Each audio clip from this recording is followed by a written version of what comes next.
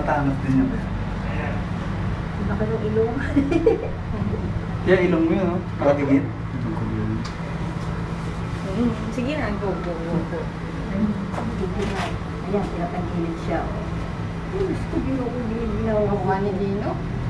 Dino, ilong mo yan Dino. Laki. Anong babae, ma? Uy, ang tangos ng ilong Dino. Oh.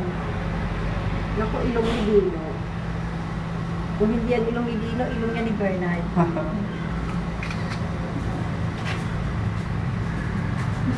Ay, naku, kamukha nilang dalawa. Kitang-kita ka agad.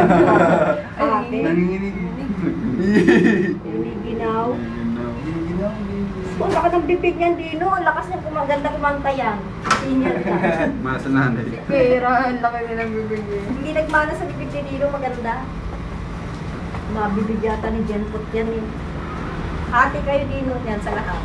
Na, walang... wala kayong tulak kabigil. Yeah, iyak lang. Eh, mamaya na. Mamaya sa Facebook na to na. Updated. Sabi ko nga sa kanya, pag dinalo siya ng mga classmate niya, huwag kang tatawa, huwag kang ngingiti. Ah, basta huwag kang magsasalita. Baka ikay kabagan o tsaka umanintiyan mo. Puti, grabe. Hindi ganyan ko puti si Kira, no? Oo. Labas, mapula-pula si Kira. eh. Ito puting-puti. Eh. Puti siya talaga. Kapal yung buhok. Kulot. Sino? Kung nagpulot yan, Dino na. Hindi naman kakamatay. Oo, oh. oo, nanginginig. Oo, naman. Ilawan pa siya eh. Ang puti.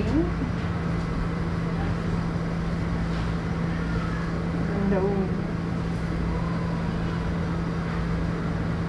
Wala pa yung. Mm.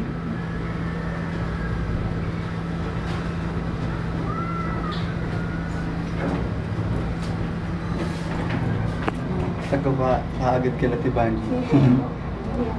Maputi siya talaga. Pati dibdib maputi Kala niya, ano, gatas yun. Nahihigit sa Oh. Hindi na maputi, pati dibdib maputi. Nagtapip naman.